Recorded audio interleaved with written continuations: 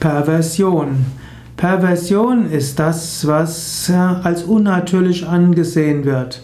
Perversion ist eine abwertende Bezeichnung für verschiedene Formen, die von der Gesellschaft als störend empfunden werden.